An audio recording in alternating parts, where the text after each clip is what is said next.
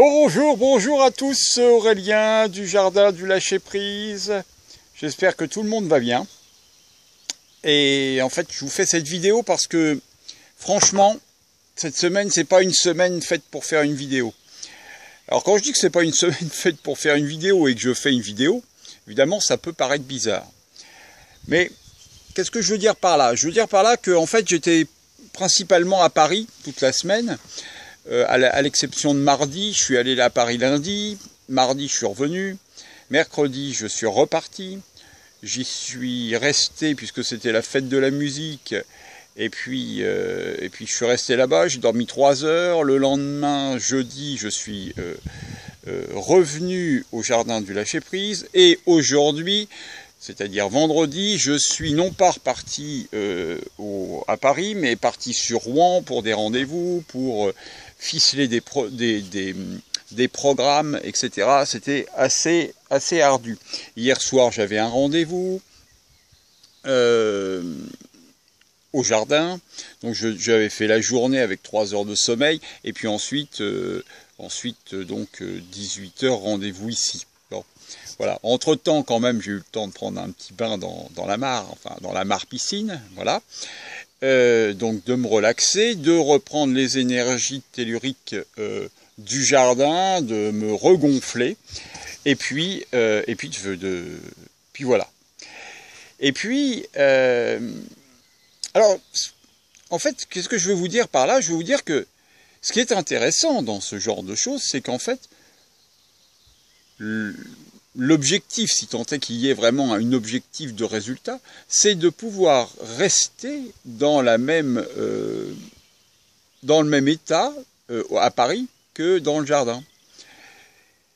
Et donc c'est un travail en profondeur qui se fait euh, sur moi pour pouvoir continuer d'être décontracté, tout en faisant des choses qui ne sont pas forcément euh, et nécessairement faciles et décontractées, dans une température qui avoisinait les 45 à 50 degrés dans les locaux, pour faire les, pour faire les, fameux travaux. Et, et j'avoue, voilà, euh, j'avoue que, que c'était très agréable, que c'était très agréable et que ça m'a mis en joie de constater à quel point euh, les, ouvriers, les gens étaient euh, agréables. Euh, bien sûr, je le sais qu'ils sont agréables, tout le monde est agréable. Mais il s'avère que plus, plus, je, plus je, je suis dans cette notion d'amour inconditionnel, plus je me rends compte de l'ouverture des gens euh, en règle générale, c'est-à-dire partout où je vais. D'ailleurs, j'étais avec un, collègue et ce collègue me dit mais, c'est incroyable le nombre de sourires euh, que t'adressent les gens. Et moi, je ne me, m'en rends pas nécessairement compte euh, qu'on m'adresse des sourires parce que je, m'en rends, enfin quand je dis je m'en rends pas compte, c'est pas tout, à fait vrai, mais en fait je suis je suis comblé parce que c'est habituel. C'est-à-dire que tout le temps, on me sourit, tout le temps, les gens sourient, tout le temps, les gens sont, sont, sont contents de me voir. Voilà. Et, et donc, je vois pas pourquoi, vois pas pourquoi j'aurais envie de, changer ça. Rester dans ce bonheur et, rester dans, ce sourire qui n'est pas forcément un sourire. Eh, je suis pas en train de, forcer, même si au départ j'ai pu le faire, forcer le sourire. Euh, forcer le sourire par rapport au fait de, trouver la solution pour pouvoir avoir le sourire, un sourire intérieur qui fait qu'il est, euh, qu'il rayonne à l'extérieur de soi. Et, et c'est chouette, c'est chouette, c'est simplement agréable de pouvoir constater que l'humanité s'ouvre euh, et, on a la possibilité de communiquer de la joie, du, bonheur, de la, de, de la gaieté autour de soi simplement en, au départ en se forçant éventuellement, en se focalisant sur une donnée majeure qui est euh, je vous aime.